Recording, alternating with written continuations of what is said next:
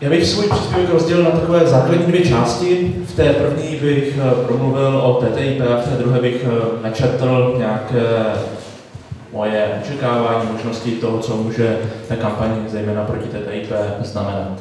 Tak jak asi víte, TTIP, hrozná zkratka pro transatlantické obchodní investiční partnerství, a vyjednává dneska Evropská komise se zástupci Spojených států. Tím proklamovaným cílem, jsou takové ty tři hlavní, má být liberalizace obchodu, odstranění netarifních bariér a odstranění byrokratické zátěže. Tak.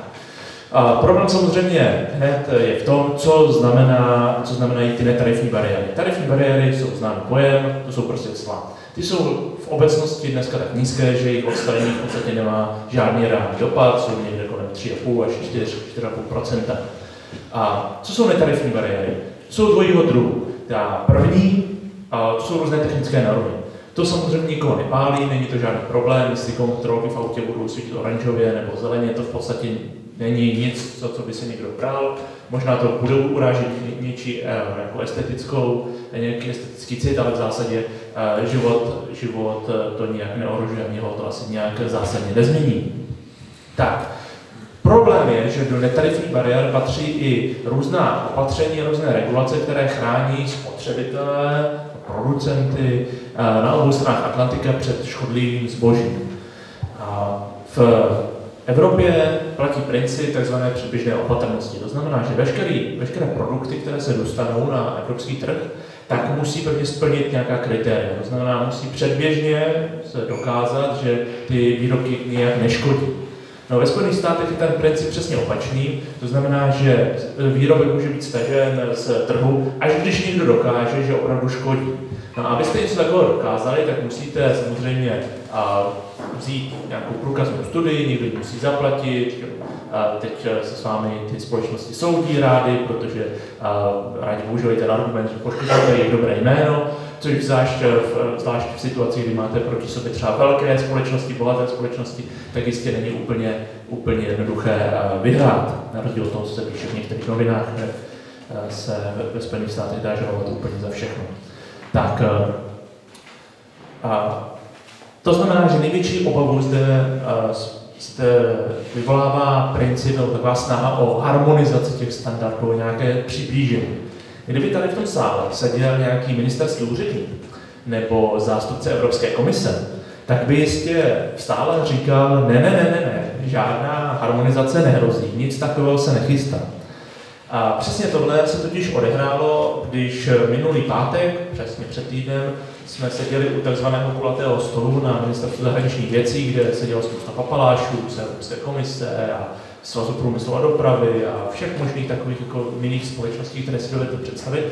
A Bavili jsme se o tom, co znamená TTIP pro Českou republiku, protože ten ta událost, Národní konvent, jak se tomu říká, má poskytnout nějaké jakési podklady pro, pro jednání vlády a pro formování pozice české vlády. No a tam samozřejmě zaznělo v žádném případě v rámci regulatorní spolupráce žádné standardy nebudou dotčeny. A vůbec o žádnou harmonizaci není. Vůbec to takhle neříkali. Říkali mi do očí ministerství úředníci. A když se tam podívat na stránky Evropské komise, tam to všechno je, tam, tam si to můžu přečíst. Tak já jsem si říkal, tak jsem úplný blázen, nebo lidi, lidi, s kterými spolupracujeme v Evropě, tak proč úplně, prostě přeci ten je hlavní, jeden z hlavních argumentů, že regulatorní spolupráce je tady tohleto, tak někde, někde je nějaká chyba. A i šel jsem na stránky Evropské komise a googloval jsem, hledal jsem regulatorní spolupráci a našel jsem dokument. Dokument Evropské komise, já když tak učím, kdybyste někdo chtěl, ale trochu počmáraný, protože už jsem si tam eh, zatrhával nějaké důležité věci. A to je dokument z března tohoto roku, takže není úplně, úplně starý ve kterém je to dokument, který se jmenuje, je to uh, základní ten přístup, uh, kapitola o regulatorní spolupráci. Tak, a zde se v sekci první, která se jmenuje cíle, definice a rozsah, v článku prvním, který se jmenuje všeobecné podmínky a principy, v odstavci 1 a 1b říká, to teď budu z angličtiny trošku neuměle překládat, tak mi to odpustíte, a že cílem této kapitoly o regulatorní spolupráci je, citát, snížit ty, to, to zatížení, ty zátěže, které nejsou nezbytné, které jsou duplikátní a které mají odlišné nebo od sebe jdoucí eh, regulatorní nároky, které ovlivňují obchod a investice, zejména v malém a středním podnikání, jasně, tím, že zvýší kompatibilitu všech předpokládaných a už existujících regulačních zákonů v EU e a Spojených států. Tak někde někdo si vymýšlí, jestli jsou to američani, nebo Evropská komise, nebo úředníci, nevím. V každém případě z dokumentu Evropské unie prostě jasně vyplývá, že tady existuje jasná snaha o harmonizaci těch dvou přístupů. Problém je, že ty dva přístupy jsou vzájemně nekompatibilní, a, takže je velmi, velmi těžko říct, co to znamená. A mohli bychom předpokládat, že to všichni myslí dobře a že nakonec to bude v pořádku, že opravdu bude jenom technické nějaké normy. A to by se dalo uznat, kdybychom nežili ve světě, ve kterém žijeme. Ten eh, svět eh, je samozřejmě velmi silně dominován korporátníma zájmama a i když se podíváte na počty konzultací, které měla Evropská komise k TTIP, tak eh, jejich, jejich, úplně ten prvotní začátek, kdy se nastavovala politická agenda, tak zjistíte, že z těch 540, 560 konzultací 97% bylo, byly konzultace s lobbystama velkých nadnárodních společností. Takže ta agenda, takzvaný agenda setting, nastavování té agendy je naprosto jasná. Tak, jaké jsou největší rizika, pokud se bavíme o té harmonizaci, harmonizaci standardů? Je jich několik, jenom velmi, velmi stručně. Tím prvním jsou samozřejmě chemické látky. Na rozdíl od eh, Evropské unie, tak americká legislativa eh, v oblasti chemikálí se řídí tzv. Toxic Substance Control Act z roku 1976.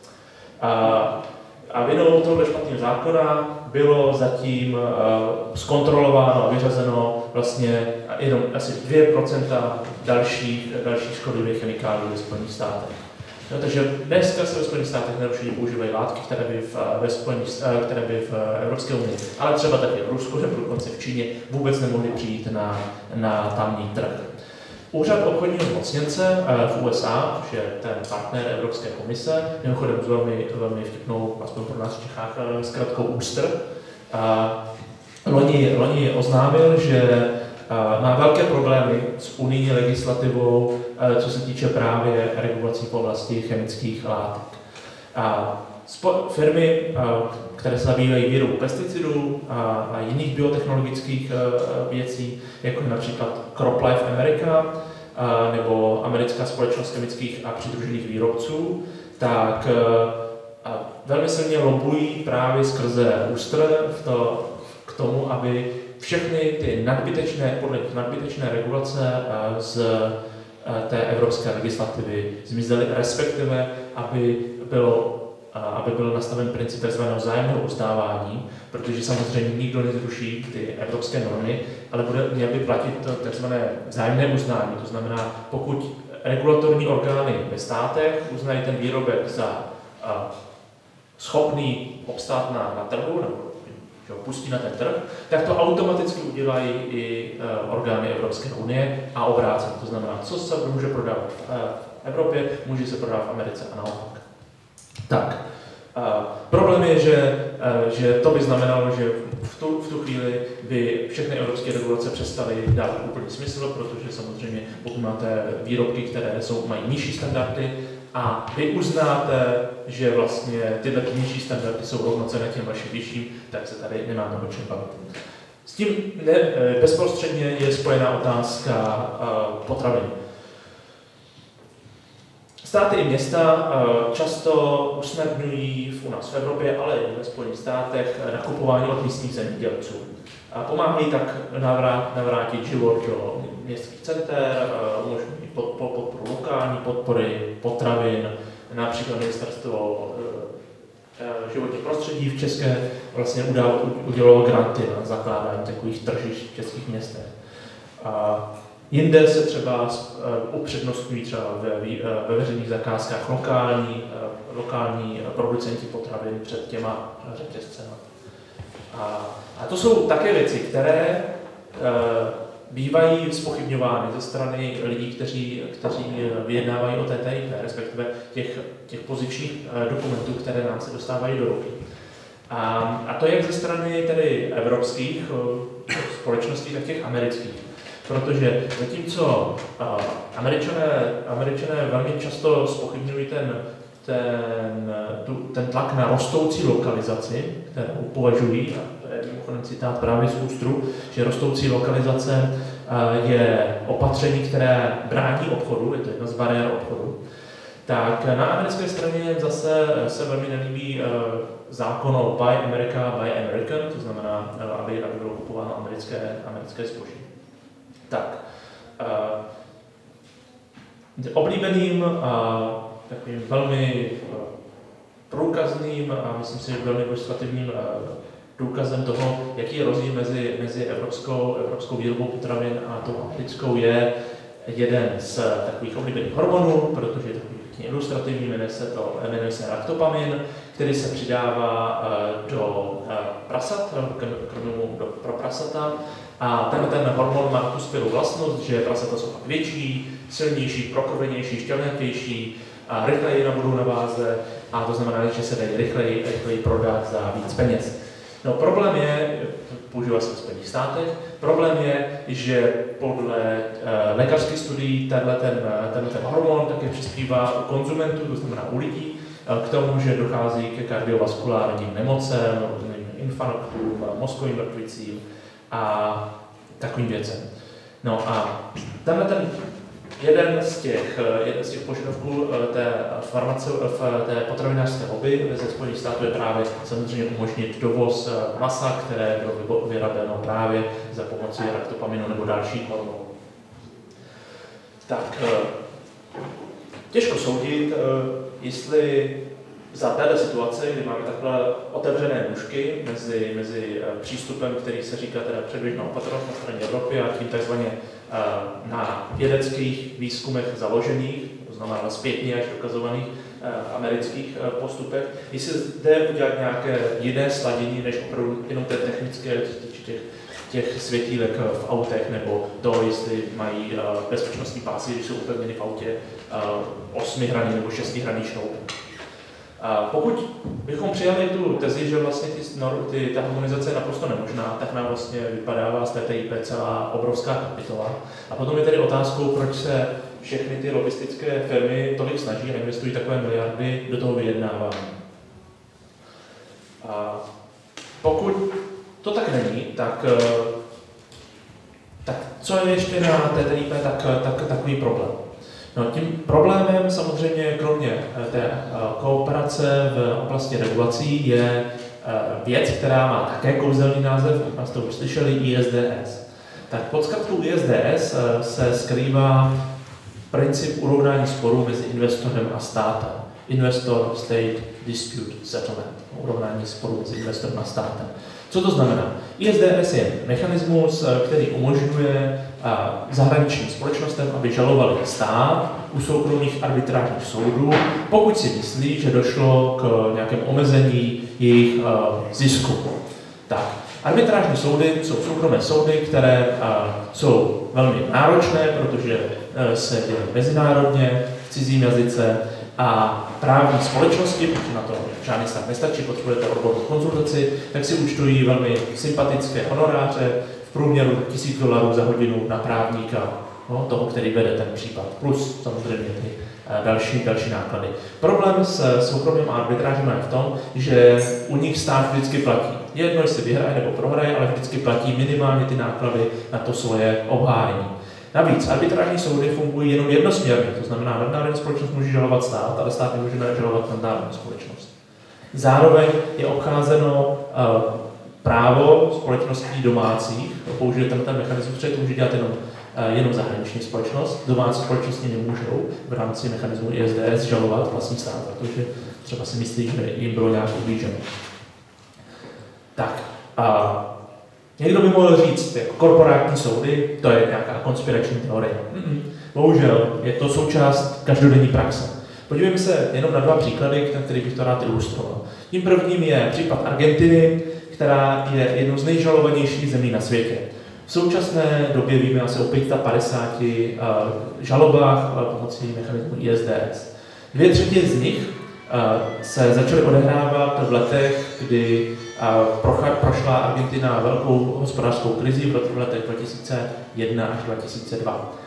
Argentina v 90. letech totiž provedla to, že privatizovala celou řadu veřejných služeb a spolu s tím podepsala řadu smluv o vzájemné ochraně investic právě i v těch nově privatizovaných veřejných službách. Když potom uh, došlo k hospodářské krizi na začátku roku uh, 2001 a dál, tak se celá ekonomika začala otřásat a po velkých protestech, které následovaly, které požadovaly například dostupnost základních potravin, bydlení, elektřiny, vody, tak vláda přišla s balíčkem tzv. protikrizových zákonů, které zafixovaly cenu některých komodit, například elektřiny nebo vody, a tím se snažila výjít, výjít vstříc situaci, kdy lidé prostě neměli na to, aby doma svítili, aby si mohli ohřát něco, nebo aby měli, měli vodu.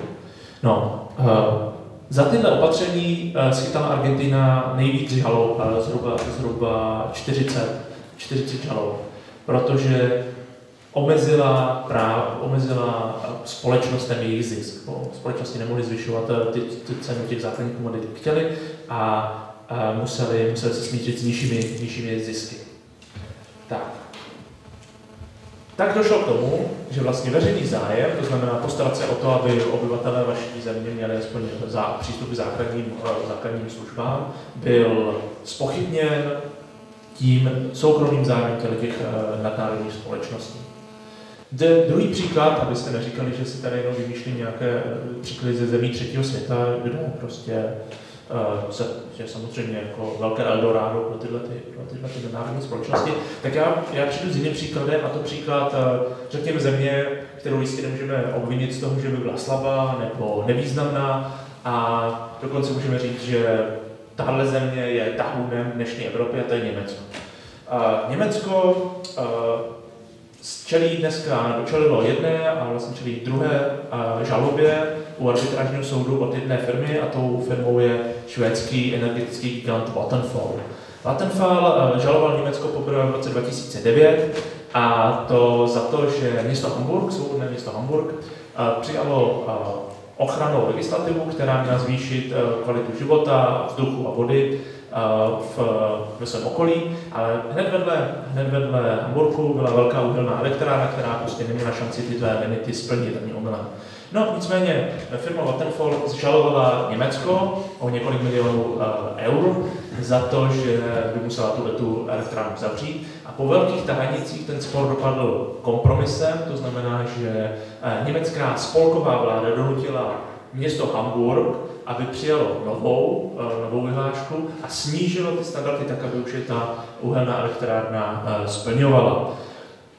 Tak, Druhým příkladem, který je z roku 2012, kdy stejná firma Vattenfall se rozhodla zažalovat Německo za uh, ušlý zisk, protože Německo se rozhodlo odstoupit od jaderné energie, jak víte v reakci na Fukushima další, že už nebudou odebírat, nebudou odebírat uh, Eh, energii elektrickou z jaderných zdrojů. No a žaloba chce eh, po Německu 4,7 milionů euro za ušlý zisk ze dvou jaderných elektráren, které firma Vattenfall staví, ale ještě vůbec nejsou v provozu navíc, takže ještě ani nebyla, ta investice ani nebyla realizována. Co z toho, co z toho tedy plyne? Plyne z toho to, že eh, v režimu ISDS jsou ohroženy nejenom základní základní principy demokratického rozhodování, tím, že každá vláda bude vždycky ve svém rozhodování muset najednou zohledňovat to, že můžou její kroky vyvolat mezinárodní žaloby, které bude muset platit. Ale zároveň je tady velký tlak na všechny složky, ať už se, ať, ať se bavíme o samozprávě, o soudech nebo o centrálních vládách na to, že tohoto nebezpečí se může týkat také jejich prostě Hamburg je prostě příklad přesně toho, kdy rozhodnutí města bylo, bylo využito k tomu, aby stát byl žalován nad národní společností. Tak, doufám, že jste vyděšený trošku. A, a pokud ne, tak, tak neva, ne, nezoufejte, mám tady ještě bonus pro ty odvážnější z vás, protože tohle je jenom začátek. A ty investiční, ty investiční žaloby na těch soukromých, na, před těma soukromými soudem jsou samozřejmě drahé. A proto ne všechny společnosti do nich chtějí investovat, protože je sice pravda, že mnohé, mnohé, mnohé z nich dopadnou pro ně dobře, minimálně třeba tím smírem takzvaným, to znamená, že třeba nevysoudí to, co úplně chtěli, ale dostanou přesto nějaké, nějaké odškodnění. Ale i tak je to velká a řekněme do jisté míry riziková investice. No, po roce 2008 se hovořilo o tom, že musíme omezit spekula, spekulativní kapitál finanční, který se tak točí po té planetě, různě investuje do různých oblastí, pak rychle mizí. V případě arbitráží se nám tady vytváří nové patro, nové skvělé patro investičních společností, které spekulují na vítězství v těle těch arbitrážních soudech a jsou ochotny zainvestovat žaloby proti státům. To znamená, dají část peněz na toto, aby se takový soudní spor e, rozjel před tím soukromým soudem a odměnou jim bude část tohle vysouzené částky. To znamená, že me- mechanismus ISDS nejenom, že má všechny ty rizika, o kterých jsem mluvil, ale ještě navíc generuje celou oblast spekulativního finančního podnikání, které po zkušenostech, které máme s hedžovými fondy a s tím dalším, bychom měli úplně zamítnout a vlastně v, v TTIP tomu dáváme jenom, jenom, další, jenom další materiál pro, tu, pro, pro. Tak, uh, naše země, Česká republika, je uh, známa tím, že je uh, velmi snadným cílem těle těch žalob. My čelíme po za poslední 10 let zhruba 20-26 žalobám. Málo která pravda dopadla tím, že by Česká republika prohrála. Bohužel je to díky tomu, že Česká republika je ochotna se dohodnout většinou. Takže většina z těch žalob a má pověst země, která ráda platí, ale platí, právě eh, dochází k tomu mimo, mimo soudnímu rozhodnutí, to znamená, že Česká republika prostě najde nějaký kompromis nad, nad, tím, eh, nad, tím, eh, nad tou částkou, která, o kterou žalovaná a tím, co je ochotná, co je ochotná zaplatit. Tak.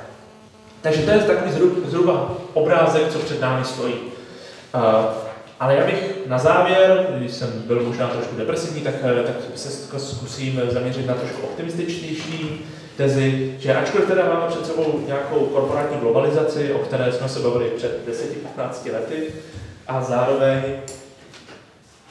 Zároveň tady máme nové, nové a nové pokusy tuto tu korporátní globalizaci posilovat, jako, jako je právě uh, smlouva TTIP, na druhé straně Atlantiku smlouva TTP s, mezi Spojenými státy a azijskými zeměmi, nebo smlouva TISA o privatizaci a veřejných služeb, která je úplně děsivá. Uh, tak tady máme jednu kvalitativní změnu oproti třeba protestu minulému fondu v roce 2000 a to je to, že aspoň tedy v té, v té otázce TTIP se ta pomyslná železná opona, pomyslný východ, ty postkomunistické země, vlastně začerněny do celoevropského hnutí. Protože dneska jsou lidi, kteří protestují, sbírají podpisy, jak v Bulharsku, tak v Rumunsku, tak v cel, po celém Balkáně, tak v Litvě, Lotyšsku, Estonsku. Prostě ta hranice v podstatě, pokud se bavíme o EU, tak vlastně neexistuje, aspoň tedy v otázce té kampaně proti TTIP, což je pro mě velmi pozitivní uh, informace, je to něco, co je vlastně nadějný. Byť v těch zemích, o kterých jsem mluvil často, je to mnohem těžší, než to máme třeba my tady v Čechách. Jsou, uh, je tam mnohem méně lidí, kteří se o to zajímají, protože samozřejmě Rumunsko má určitě mnohem větší, větší, větší problémy a lidi jsou tam mnohem víc jako deptaní svýma každodenníma problémama a je mnohem těžší je, je mobilizovat k tomu, aby, aby mluvili a zajímali se o něco, co je vlastně takhle, takhle veliký. Ale já si myslím, že to je prostě dlouhodobý cíl. Je dlouhodobý cíl a porazit tu korporátní globalizaci, je to dlouhodobý cíl, na kterém musíme pracovat, je to dlouhodobý cíl, které musíme lidi vzdělávat, informovat, mobilizovat, jak říkal Tomáš.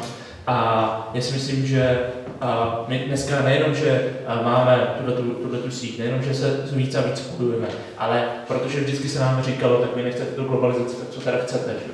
tak dneska už samozřejmě přicházíme s alternativníma řešeníma. Jedním z těch řešení, které, nebo aspoň pokusem o řešení, je alternativní obchodní mandát, který brzy bude eh, dostupný v, češ, v českém jazyce, který může začít nějakou debatu o tom, jak by měl mezinárodní obchod vypadat jinak, jak by měl být férovější a zároveň přispět eh, k nějakému hnutí, které se může na základě tohohle programu nějakého jiného obchodu začít zabývat taky tím, jak by měl vypadat nový hospodářský systém, který by tenhle planeta přežila a přežila ho i s lidma a doufejme, přežila ho i s lidma, kteří si navzájem budou fungovat na principu solidarity a ne na tom známém principu člověk člověku.